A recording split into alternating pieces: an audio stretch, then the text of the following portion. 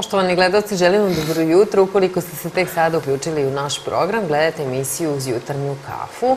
A našeg odnosno mog, a i vašeg e, sljedećeg gosta ću najaviti kao intrigantnog, bez lake na jeziku. On je novinar, autor, Teša Tešanović je urednik i voditelj emisije intervju u produkciji Balkan Info, nezavisne produkcije, koja je do sada ugostila više od 400 sagovornika. Najmanje, dobro jutro i dobrodošli. E, hvala vam što ste me pozvali u vašu emisiju. Drago mi je da budem sa vama danas. Evo, popit ćemo kafu. Pre svega moram da vas pitam, vaša emisija izlazi e, na YouTube kanalu u 9 ujutru. Pa jest, izlazi u 9 ujutru, zato što to je doba kad ljudi ustaju, tada kreće dan manje više i...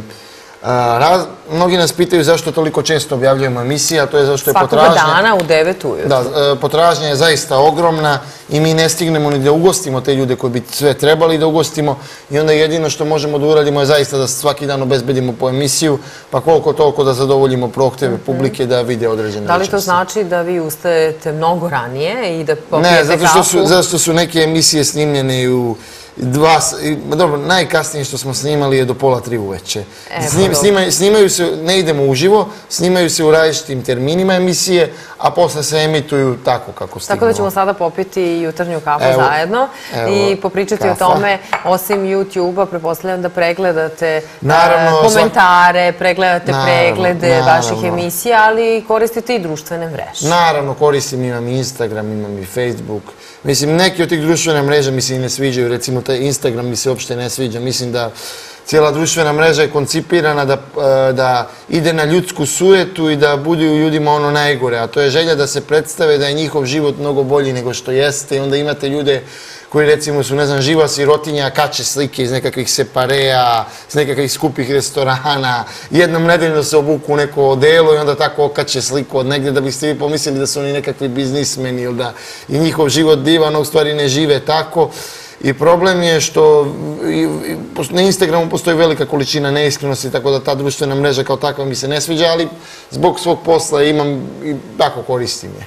Ali koristite i Facebook? Pa koristim Facebook. Na Facebooku imam više stariju publiku i generalno meni se više uvijek sviđao Facebook. Meni je malo krivo što je propao, mada opet kad vidim kako se ponašaju sa cenzurom na Facebooku, sa cenzurisanjem određenih komentara, s blokiranjem naloga i nije mi krivo, malo mi je drago.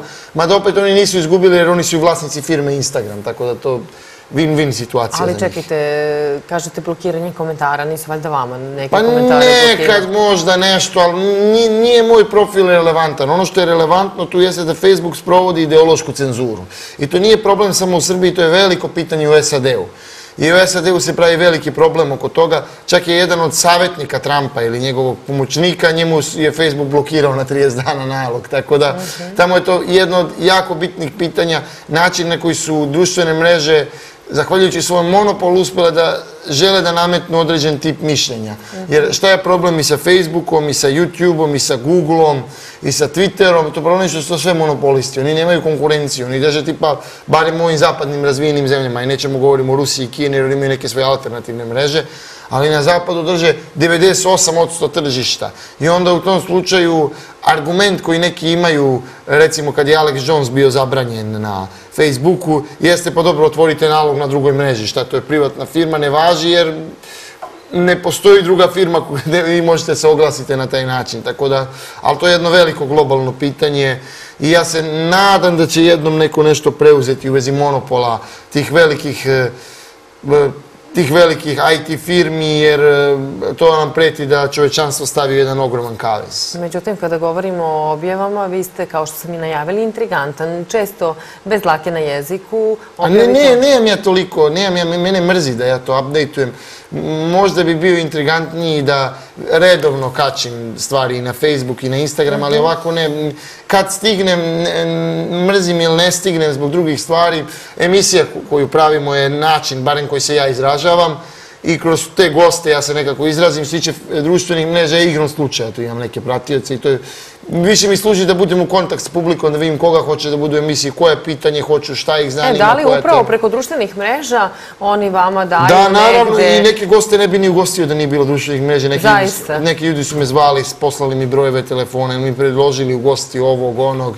Tako da ja dobijem ideje svaki dan od ljudi koji me kontaktiraju. Pa je li e, često poslušate publike? Često poslušam, naravno, apsolutno, trudimo se uvek da poslušamo. Da. E sada, kada govorimo o YouTube-u, ujutru se pregleda koliko ima e, pregleda prethodnog dana objavljen video, koji su komentari. E, prepostavljam i da pozovete sagovornika i kažete mu e, da sumira negde i utiske. Ne, pa ne uradim to jer ne mogu da mhm. stignem. Jako puno emisija snimamo i onda ne mogu. S nekima se čujem, s nekima ne mogu jer mnogo, mnogo snimamo i onda ne stignem svakoga da pozovem, da pitam, da popričam o tome jednostavno tako je, ali sa mnogima se čujem, ali čujem se zato što sad ja s tim ljudima imam zaista korektan odnos. Najčešće me oni sami pozovu, pa me to malo popričamo. Što da ne, ali treba, treba imati i e, taj neki te neke utiske i od publike i od gostiju da biste stekli pravi utisak o tome ono što radite. Jeste. Intervju, i tra, odnosno emisija intervju, postoji od kada? Pa postoji od 2015. Krenuli smo onako dosta skromno, ali vremenom smo uz rad uspeli neko da narastamo. Da li je to budućnost? Internet, televizija pa jesu... Pa mislim da će televizija u budućnosti izgledati nešto pola puta između sadašnjeg YouTube-a i recimo Netflixa. Da će to biti kao neke serije, nekih streamova, da vi nemate više klasično kanal, nego imate neku selekciju kao sadržaja koji se nižu, a onda usred te selekcije vi možete nešto virtualno da šaltate i eventualno da izaberete kao na Netflixu neki sadržaj koji ćete platiti. Nekako možda će pogrešiti, ali mislim da će vremenom u budućnosti i klasična televizija za 30, 40, 50 godina izumruti, da će sve više ići na integraciju interneta i televizije, s time što E, mislim da će ipak se zadržati neki element televizije, jer na YouTube vama treba aktivan rad. Vi kucate, pa tražite, pa ovo, pa ono. A televizija ima taj neki opuštajući, e, kako se zove, faktor, zato što vi sednete i onda je sadržaj ispred vas. Tako će, mislim da će se ići na integraciju ta dva. Jasno. Međutim, sada, kada govorimo o pregledima i konkretno o vašoj emisiji, to su zaista impozantne cifre. Pa hvala vam, eto, trudimo se da cifre, mislim, trudimo se, mi obezbeđujemo publici e, takve emisije i hvala njima pre svega što oni to nagrađuju pregledima. Eh, koje su emisije najgledanije? Pa bio je gledan Miroljub, bio je gledan Mihajlo Ulemek, eh, Đorđe Višekruna, Kristijan Golubović, eh, bio je intervju sa Kimijem jako gledan, s vođom navijača, bilo je tu čitav niz gostiju, Jugoslav Petrušić, Velimir Abramović, Radovan Damjanović, tako da bilo je emisija zaista koje su bile izuzetno gledane. Evo jedan mladi gospodin Aleksandar Pavić koji je koji se nigde nije pojavljivo u medijima pre nas, ali koji je došao i ispričao svoju priču iz Legije stranaca, on imao zaista izuzetan broj pregleda, tako da to pokazuje da vi ne morate da budete ni poznati u javnosti, ako imate dobru priču, mhm. zaista to može da se čuje. E sad, kako birate sagovornike? Da li to upravo to što ste rekli? A gledamo, gledamo da napravimo balans, pošto mi pokrivamo čitav niz različitih oblasti od politike, kulture, sporta, umetnosti, E, istorije, nauke i onda gledamo da napravimo balans da to bude raznovrsno, da ne pretiramo ni sa jednim ni sa drugim tipom gostiju, a s druge strane da ugostimo ljude koje treba ugostiti. Neke ljude smo čak ugošćavali, smo smatrali su bitni, iako smo znali da neće imati ne znam koliko pregleda, ali s druge strane moramo i da ugostimo e, ljude koje publika zaista gleda i koje zaista publika traži i piše komentare i tako, tako da je to mešavina više različitih faktora. Mhm. A da li su i političari ti koji su radoviđeni gosti? Pa jesu, ali malo smo nešto smanjili u poslednje vreme. Političan, biće političar, političare, evo ovih dana neke promjenimo, pozovemo. Između ostalog, zašto ljudima je do ovde politike i bas su nam pisali ono kao ajde ovaj sadržaj, ajde ovaj. A što je zanimljivo, niko nam, od tih ljudi koji nam predlože da ugostimo, možda 5%, 3% su političari. I onda smo shvatili da ljudima je nekako muka politike i onda u skladu sa time smo, još uvijek mi ugošćavamo političare, ali smo ih malo proredili u odnosu na izvornu koncepciju jer smo vidjeli da narodu je malo muka politike i nemaju toliko potrebu da gledaju političare kao što su imali možda nekada. E pa evo, upravo ste i pomenuli da je negde, da su najgledanije emisije upravo sa Miroljubom Petrovićem, međutim, negde vas i e, kako bih rekla, karakterišu kao, e, odnosno, optužuju vas da promovišete neke kako oni kažu, pogrešne vrednosti. Pa Šta ovako, vi kažete e, što se tiče toga, Miroljub ne gostuje od nas, od, kod nas od letos, ne, nezadovoljan je uređivačkom politikom Balkan Info, imaš neke privatne razloge i mi mu to pozdravljamo.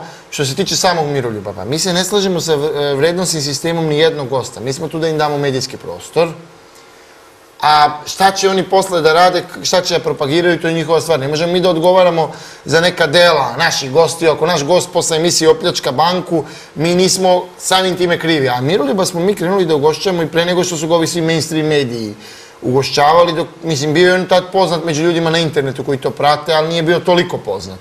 Kasnije je on našao svoj prostor u mainstream medijima, to je njegova lična stvar, da li je to dobro ili nije, ja neću to javno da komentarišem, ali nekako je usto njegov nalazenje profesora u mainstream išao i naš razlaz sa njime, tako da on od letos ne gostuje i znajući Miroljuba ne verujem da će i više ikada gostovati kod nas, ali slažem se u jednom smislu da naši gosti trebaju da budu predmet kritike, da je to normalno i ja nemam ništa protiv da neko ispljuje ovog ili onog našeg gosta ili da kaže da je ovo ili ono što radi pogrešno, jer smatram da ljudi nisu to direljivi, uključujući i mene, i da svako treba da bude predmet kritike. Ali šta to znači? Šta nam to govori? O, Miroljub jeste svakako predmet kritike posljednjih nekoliko meseci, svi znamo zbog čega, a opet sa druge strane upravo te emisije jesu najgledanije. Pa jeste, ali dobro, ljudi vole malo show program i to, ali sjeća kad se rekli sistem vrednosti Miroljuba, ja mislim da Miroljub zastupa dobre vrednosti, ali meni lično moj problem sa Miroljubom, što i on to radi na neki talibanski način.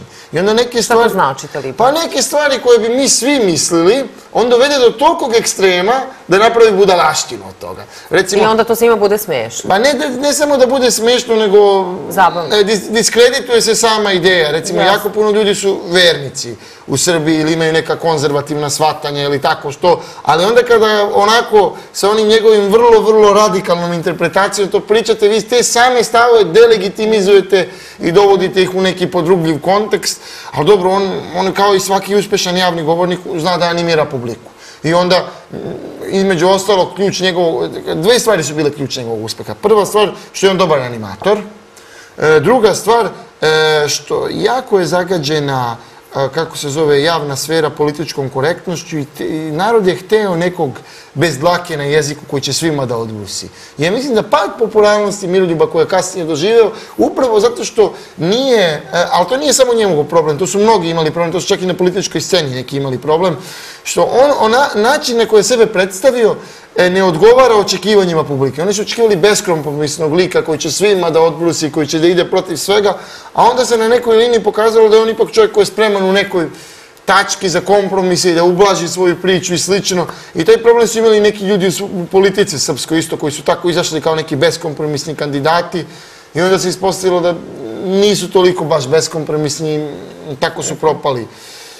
Tako da, to je stvar u vezi Miroljuba i zašto je popularno. bio. Upotrebili ste jednu interesantnu reč, a to je animator. E, Animator, da. e, Ima još e, takvih ljudi na našoj sceni Ima, i također ima, su i vaši česti gosti. Koliko je bitno za sagovornika da bude animator, da bi E, jedna mnogo emisija e, to, bila to je meni gledana? naj, najtužnija stvar. Mislim, to nije fenomen Balkan Info, to je fenomen generalno masovnih medija i načina na koji društvo funkcioniše. Ali vi možete recimo da ste fenomenalan fizičar, hemičar, naučnik, da ono zaista donosite neke rezultate koji će čovečanstvo pogurati napred.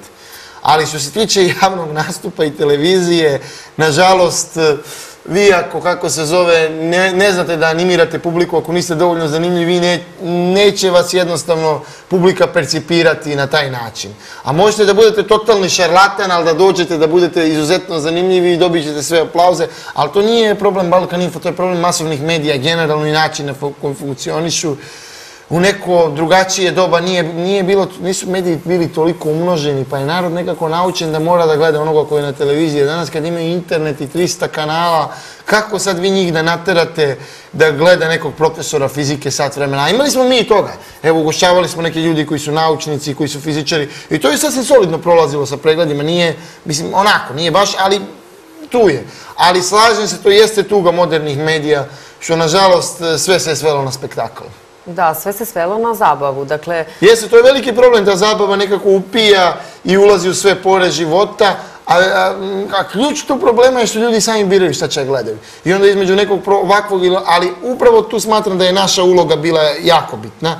Jer Balkan Info, pored toga što je obezbedio dobru zabavu ljudima, zaista je doprineo da mnogi intelektualci, profesori, doktori nauka budu mnogo viđeniji nego što bi normalno bili viđeniji, jer listovi koji objavljaju njihove tekstove, e, tribine na kojima govore, to nema ni približno posjećenost, tako da mi je drago da neki, recimo, čovjek koji je u Sanu ili koji je profesor na nekom fakultetu je mogo, zahvaljujući nama, da ima 30, 40, 50, 60 hiljada pregleda. Tako da smo mi, praveći popularni mediji, omogućili da intelektualci, da određen broj intelektualaca ima prostora i dođe do veće publike nego što je trebalo. Promenili ste profesore, ali i kriminalce. Koga ste sve e, ugostili u pa, vašoj emisiji? Sad ne mogu da kažem kriminalce na sudu, da odredi da li je neko kriminalac ili ne. Mi smo imali ljudi koji su se družili sa ljudima koji imaju kriminalni dosije. Sad, da li su se oni lično bavili kriminalom, ja to ne znam, niti mogu o tome da sudim, to je stvar suda.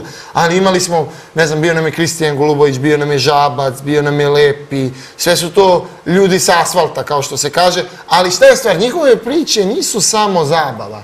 Njihove priče su E, ispovest o određenim događajima, određenim vremenima i određenim ličnostima koje su čak sa sociološkog i političkog aspekta vrlo poučne. Tako da tu nije reći samo o pukoj zabavi, već možete puno da naučite slušajući žabca. Mhm, dakle, to su i životne priče. I životne priče između ostalog i govore o nekim drugim vremenima, o radu službi bezbednosti, o kriminalu, o spregi kriminala i države. Sve to možete zaključiti na osnovu tih priča. Naravno, te priče se odnose na prošla vremena, ne vjerujem da bi sad niko izašao da priča o ljudima koji su iz podzemlja, iz aktualnog vremena, ne na taj način. To su uglavnom ljudi iz 90-ih, 80-ih. Ali na osnovu njih priča možete puno da zaključite načinu na koji to funkcioniše ili koji vjerojatno funkcioniše danas. Iako se stvari vrlo promenile. E sada kada govorite o profesorima, ko su, iz kojih sve oblasti se, ste ugošćavali? E, pa uglavnom društvene nauke, zato što nekako prirode stvari da to ljude više zanima. Tehnički ove prirodne nauke su malo suvoparnije i onda manje su povezane sa društvom, sa društvenom sferom i malo je teže staviti ih u neki kontekst. Mada što da ne, mislim da je to rupa koju smo propustili i da je naša greška i da bi to trebali. Trebali nešto, kažem, možda o nanotehnologijama, o robotici, o ne znam, 3D štampanju, tim tehnologijama budućnosti i treba praviti emisije o tome.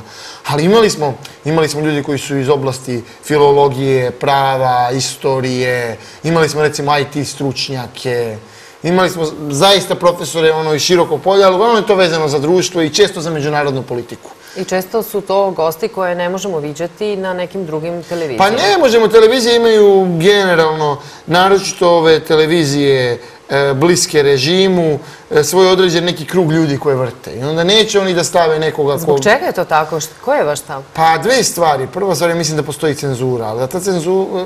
Kao prvo ja sam čuo od kolega koji su radili na nekim televizijama, su oni imali neke crne liste, liste gostiju koji nisu smeli da ugošćavaju tipa na TV Happy i slično.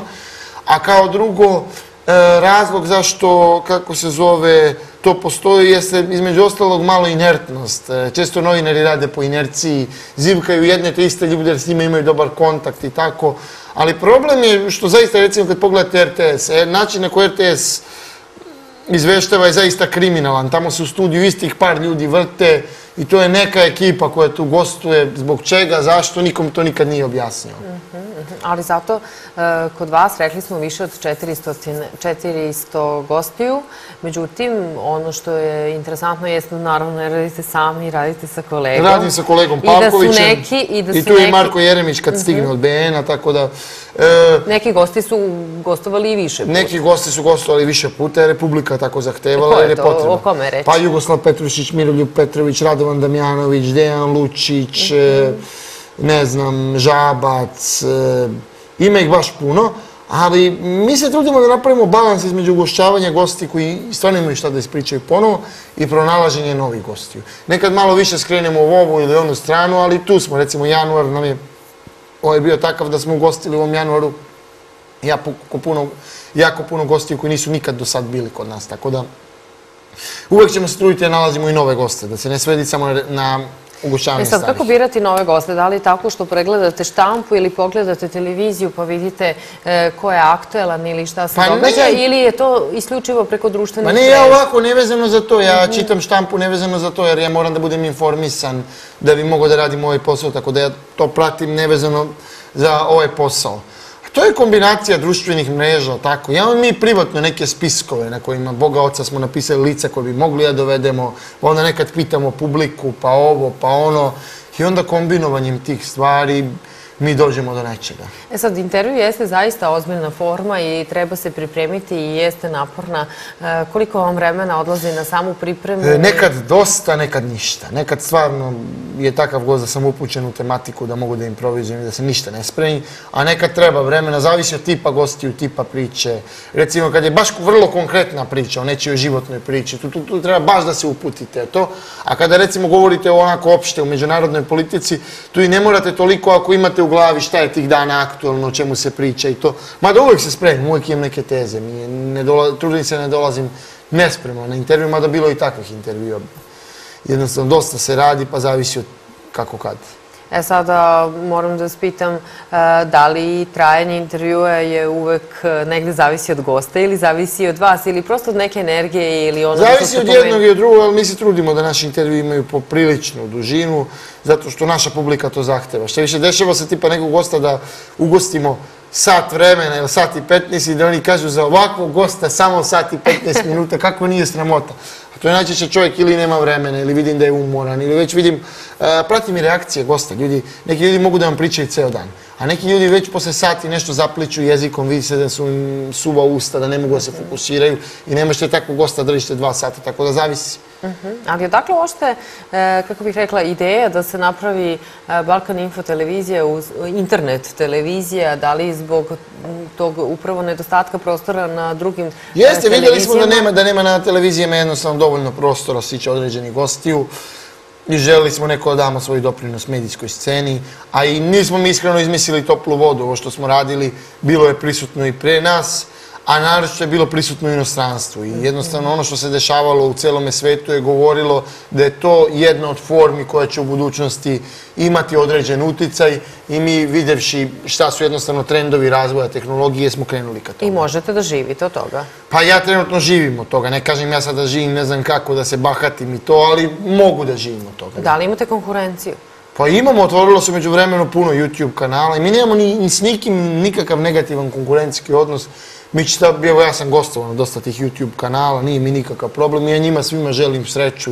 Jednostavno smatram da je internet sfera, da svi mi treba da se izrazimo i svako ko hoće da otvori YouTube kanal, neko otvori, ja nemam ništa protiv toga. E sad, da li ste možda razmišljali o nekom proširenju, s obzirom na to da imate jednu emisiju, da li ćete... Pa nemamo trenutno toliko na YouTube prostora, jer YouTube specifično skuplja preglede, ali o tom potom, vidjet ćemo polako. Za početak, nama je cilj da dovedemo na viši nivo što radimo u jednu emisiju dnevno, pa ako bude prilike, možda ćemo jednog dana i nešto više, ali o tom potom. Za sad, u skorijem vreme nemamo planu da... Niste mi odgovorili na pitanje koja vam je najgledanija emisija, koliko ima pregleda? Najgledanija je, mislim, Miroljub, onaj gdje je rekao ideš pod mač, ima milion i nešto, milion i sto hiljada. To je ozbiljno, ozbiljno. Pa jest, jest, jest, jest, jest. Pored toga mi imamo recimo i naš partnerski kanal s kojima sarađujemo, e, dokumentarne emisije Balkan i one imaju isto jako puno pregleda, na njih kačimo kratke snimke sa ovog izvornog kanala i to mogu da vide ljudi najzanimljivije dijelove iz najudarnih intervjua i oni isto imaju nešto, neki snimci imaju po pola miliona, 600.000, 700, oni kratki, tako da ima tu dosta pregleda jer jednostavno publika ima želju to da vidi. E sad, kada kažete Balkan Info televizija, prepostavljam da su vam i sagovornici, ali i gledaoci također sa celog Balkana. Celo, ali imali smo i svete. Ja sam radio koliko sam stigo određen broj intervjua na engleskom i imali smo desetak intervjua koji su na engleskim studijima širom sveta. Mislim, meni nije... Gde ste išli sve? Koliko ste intervjuisali? Pa intervjuisao sam određene, recimo Pepe Escobara, čuvenog geopolitičkog analitičara iz On je iz Brazila, njega sam u Iranu intervjuisao, snimao sam intervjue u Nemačkoj, Iranu, u Donjecku, e, napravio sam reportažu u Peru, E, snimao sam po regionu, snimao sam u Parizu. Mislim, svaka snimanja po inostranstvu, naravno, radimo koliko smo u mogućnosti. Čisto da ljudi ne misli će mojih putovanja, ja često putujem, ali najčešće ta putovanje pokrije neko ili neki organizator ili se nađe neki sponsor i slično. Ja to ne pokrivam da ljudi ne misle pogrešno od, e, od e, para Balkan Info koje dobijemo reklama, a kamoli od onih donacija što ljudi šalju.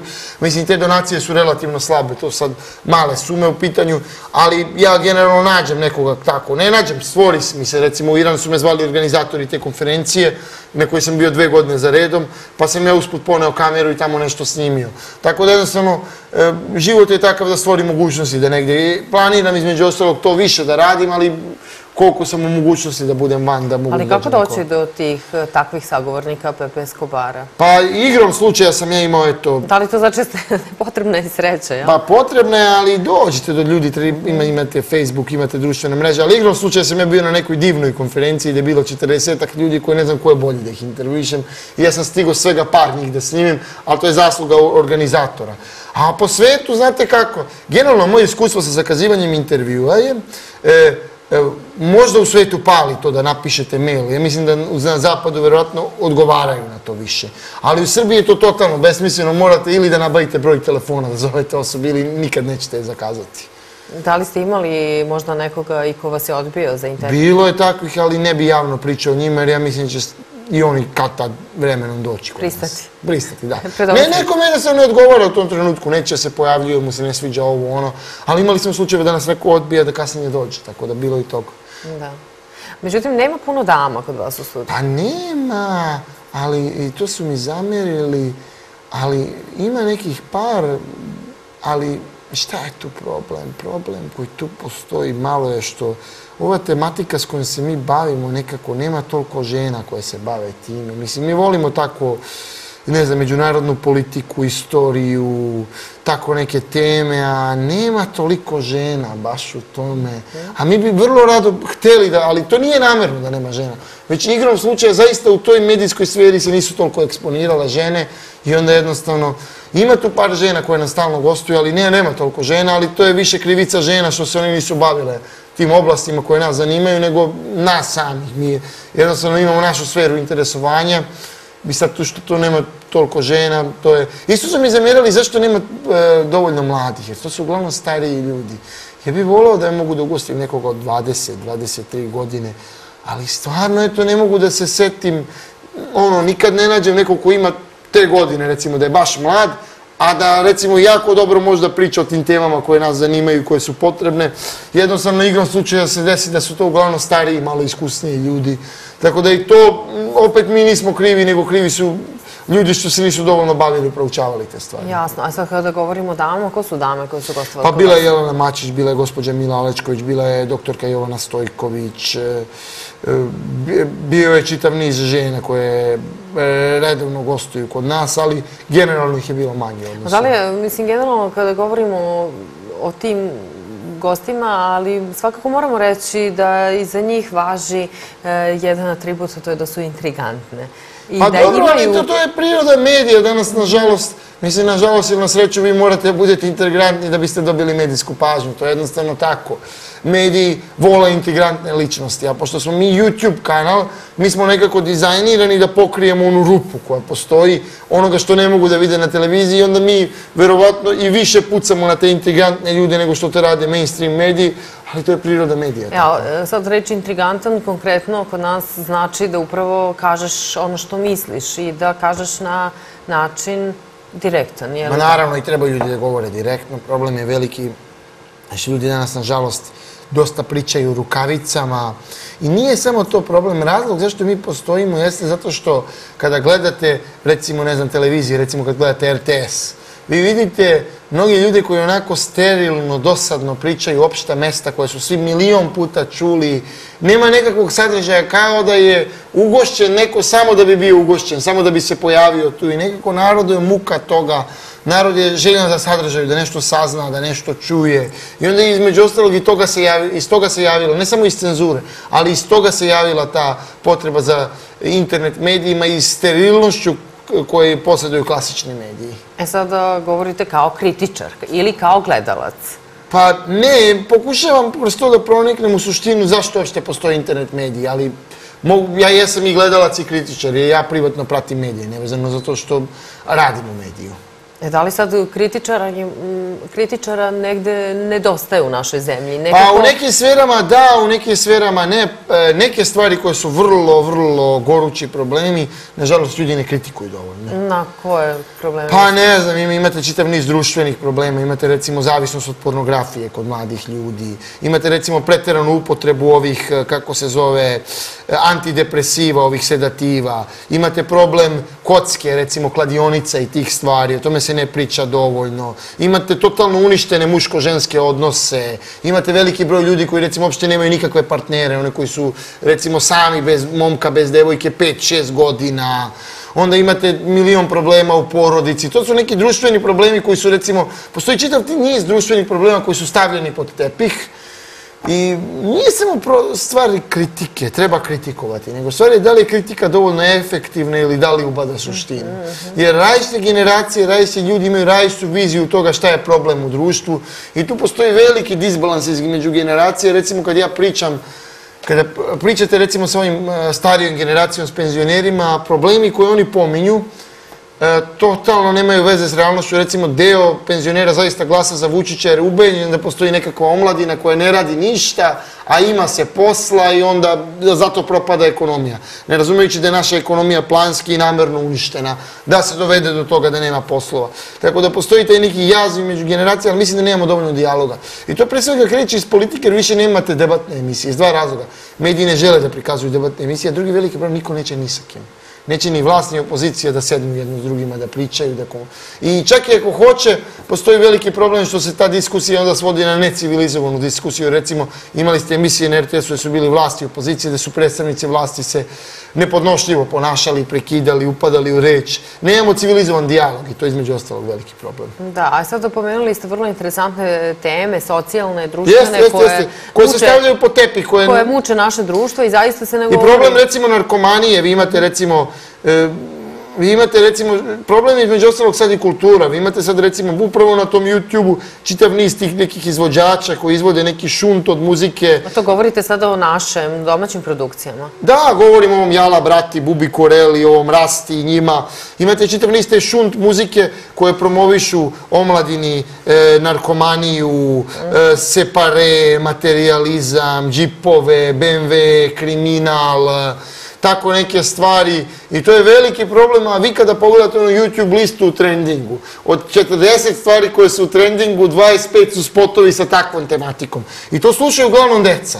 Ono deca, 13, 12, 14 godina. Ja znam zašto ja imam Instagram gdje me prati jako puno upravo te populacije koje su malo, koja je maloletna. I ja vidim šta oni kače, šta, e, šta pišu, šta... Oni su skroz u tome, a to je generacija koja je nažalost prepuštena, jer ovo cijela generacija starijih roditelja to uopšte ne vidi i to je veliki problem države. E, ko tu sada treba da kritikuje e, te nove, hajde da ih nazovemo trendove? E, Trendove pa treba da kritikuje država, treba da kritikuje crkva, treba da kritikuje profesori, treba da kritikuju... Ali znaš šta je veliki problem? Nije pružena alternativa. Mi nemamo muzičku produkciju, mi nemamo koncerte, mi nemamo... Cijela ta sfera kulture, muzike, filma je prepuštena tržišta.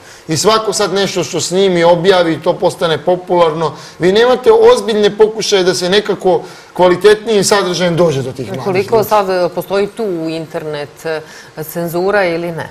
Pa ne postoji tu neka internet cenzura, mada, ja sam malo teoretičar zavere, ja mislim da novi svjetski poredak, YouTube, društvene mreže, da oni guraju taj šunt od sadržaja da bi se jednostavno debilizovao masa i mislim da taj trend koji postoji kod nas nije samo kod nas, to je odraz onoga što se dešava na zapadu. Ali kod nas se nekako čini se lako prima.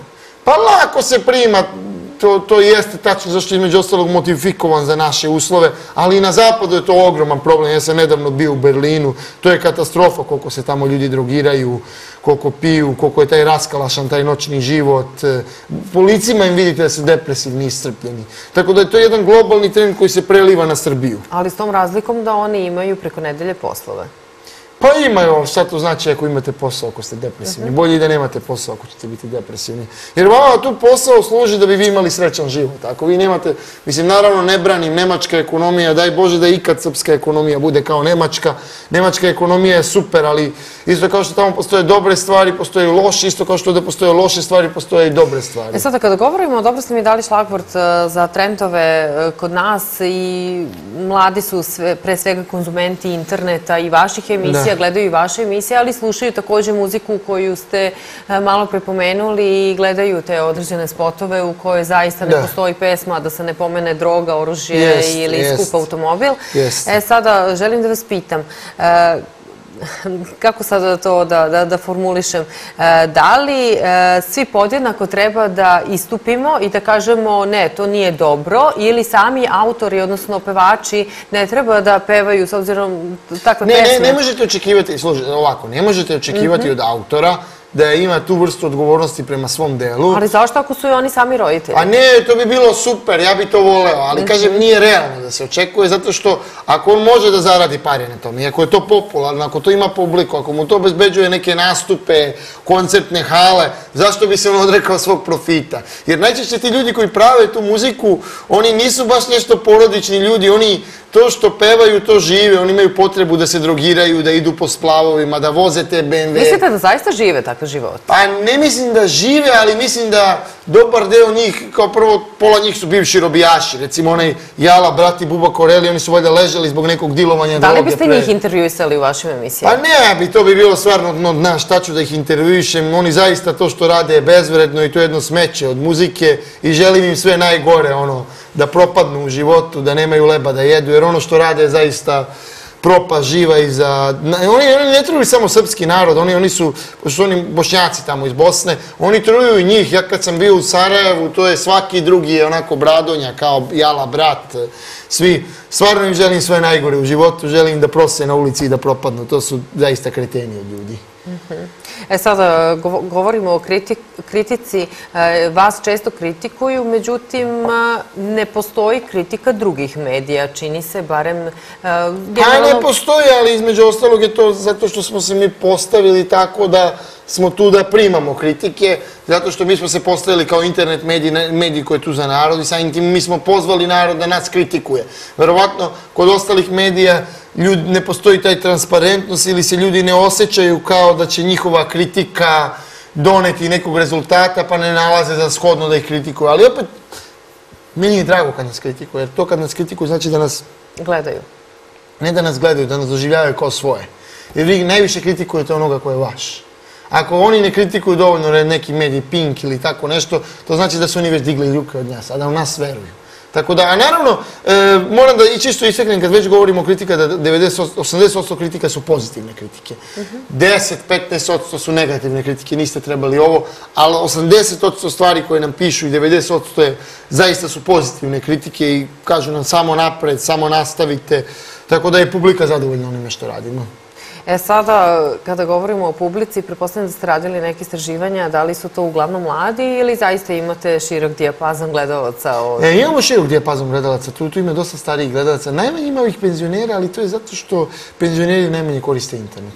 Ali širok, mislim da nas čak dosta nas gleda mladih, ali da nas još više gleda e, ova generacija srednjeg doba, tako negde 40 godina, 50, tako, kasne 30. Mislim da nas oni čak još više gledaju od mladih. Mislim, mi smo dosta napravili i uzlet ka mladima sa određenim gostima i gledaju nas sad i mladi, ali ta generacija srednjeg doba nas najviše u stvari prati. Mhm, da li, recimo, ugošćavate i sportiste? Pa ugošćavamo koliko stignemo i koliko oni hoće da dođu. Sportisti su često malo stidljivi i štiće gostovanje jer se boje kako će ispasti, jer neki od njih smatraju za sebe lično da nisu baš najkvalifikovaniji da gostuju, jer oni a realno se bave tim sportom i tu su stručni, što tiče javnih nastupa, nekima od njih, oni lično misle da im to loše ide, tako da je neki od njih malo teže dovesti, ali kad uspijemo da dovedemo, dovedemo i nekog od sportisa, što da ne. Pevači, glumci? Pa imamo, ali trudimo se će pevače da baš ne zapadnemo u neku tešku estradu, ali imali smo i pevače, imali smo i glumce, sve. E, svakako postoji, baš smo to i konstatovali, određene, zapravo neki gosti su nam negde i slični neki pojedini... Naravno, mi ugošćamo neke goste koje ste vi imali prilike da ugostite, tako da Da. E, kada govorimo o gostima, rekli smo da dobar sagovornik zaista zlata vredi i negde olakšava posao. Jest, jest, jer dobar sagovornik nekako priča umjesto vas i onda se vi opustite.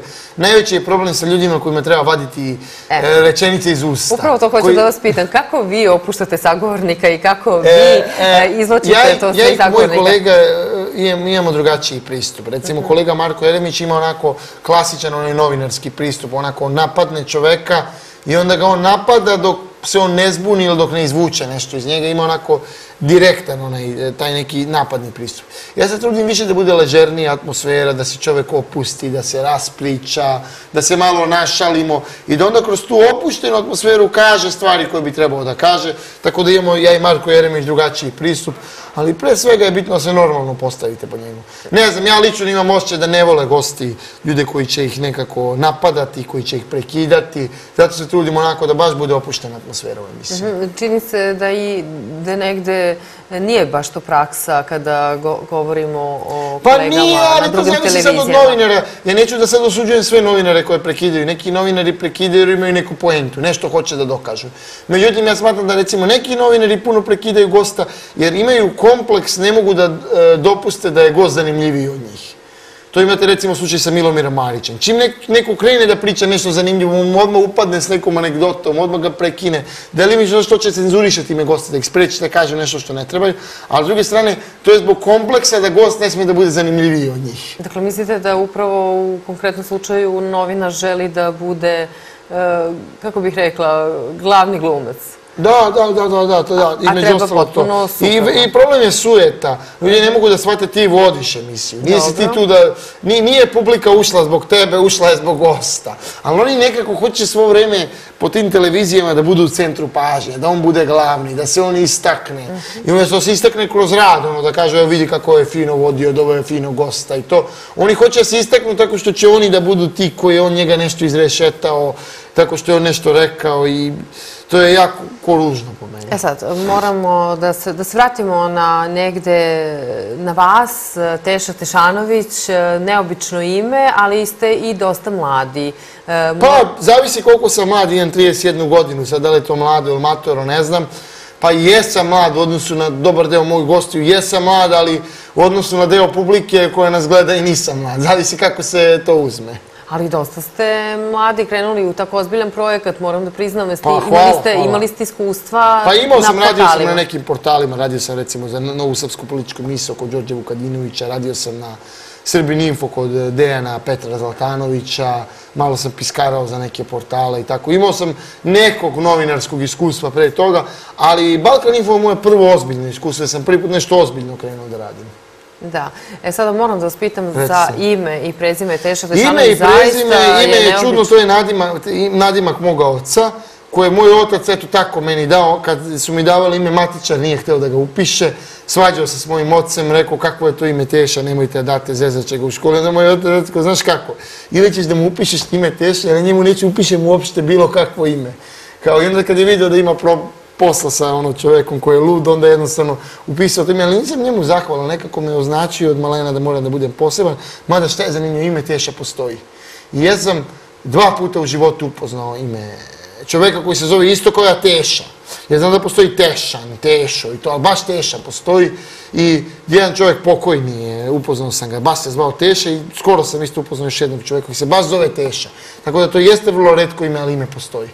Teša Tešanović, negde olakšava da bude zvučno. Olakšava mi je, jako je zvučno, lako se pamti, mnogo mi je olakšava. E sad pomenuli ste malo pre da otac je bio uporan i negde hrabar. Da li su i te osobine neophodne kako bi... Pa potrebna je upornost. Vi ako se stidite nekog da dovedete, ako se stidite nešto da uradite, ako sebi otežete, verovatno nećete uraditi ništa jednostavno potrebno je nekada da uradite neku stvar u životu. Naravno, pre nekih stvari potrebna je ipak neka priprema, neka stručnost. E, ja ne verujem da to što smo uradili bi bilo moguće, da ja ipak nisam bio spreman za to, da ja godinama nisam čitao o tim stvarima, da nisam to poručavao, da nisam imao određeno predznanje.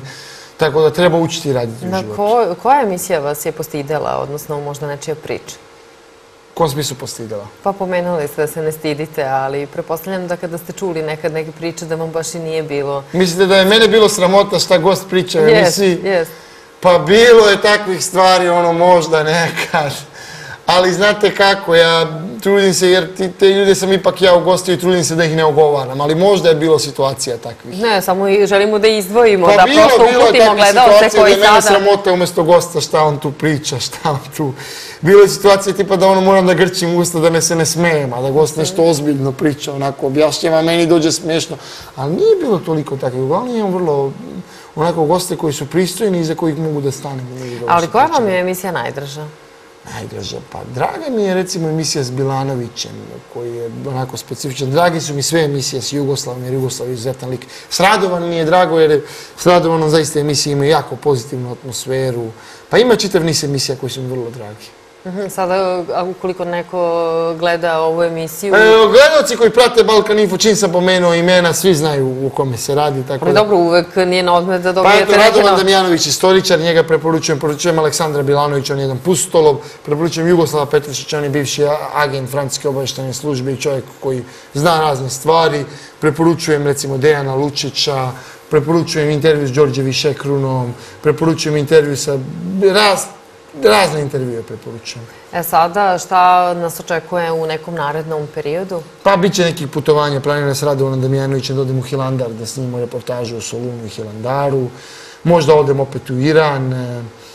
Snimit ću te neke emisije s terena, trudit ćemo se da dovedemo neke goste koje nisu nikad bili pre i kod nas, a nisu bili uopšte na televiziji, a imaju zaista priču koja je vredna priča. Malo ih je teže dovesti, ali radimo na tome. Kada kažete nisu bili kod nas, u smislu da su dakle to neki ljudi koji žive van granica ove zemlje, Ne, ne, nisu gostovali jednostavno na televiziji, nisu pristali da gostuju. Ne žele. televiziji. Da, ali odlučili su recimo da se otvore i da ispričaju neku priču koju nisu ispričali do sada, tako da bit će ekskluziva dosta.